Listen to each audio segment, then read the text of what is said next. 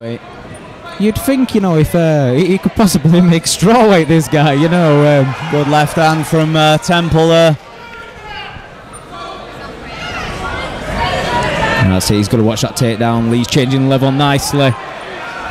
Mitchell's got it to the ground, but Jack's up on it, stiff arming. He's trying to climb the cage. Yeah, Mitchell doing the right thing, just picking at the wrist because he was up against the cage. Temple equal to it.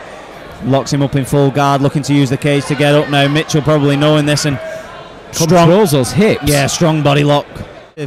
Cautious. Uh, I don't think both guys are scared to throw shots as Mitchell shows. I just think beautiful change.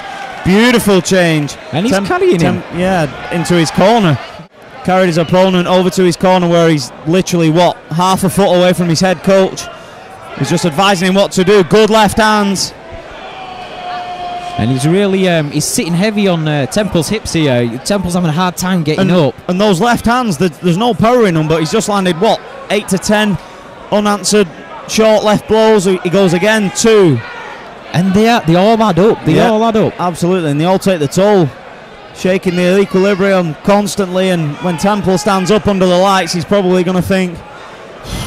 And well, if Mitchell gives him the chance, that is A nice little trip there by um, by Mitchell. Mitchell. Yeah. Necessarily say he's, he's showing his guard no respect. He just looks fairly confident that where he is, as you see, he's got the body lock now. Again, Temple's trying to get up. Oh! Mitchell bunks him. There were nearly a sweep there. It looked pretty smooth until the cage stopped him. Yeah, I was You know, Mi- Mitchell, he's short, he's strong, he's top heavy. Well, I don't even know if you can call him top heavy. You know, the size of his Yeah, I legs. was say, mate, he's all heavy. he's just one big lump, No, but he's taken He's mount now. mount now. And those sort of small, short, multiple shots will begin to take the toll if Mitchell can free up a bit of room and land some heavy hitters.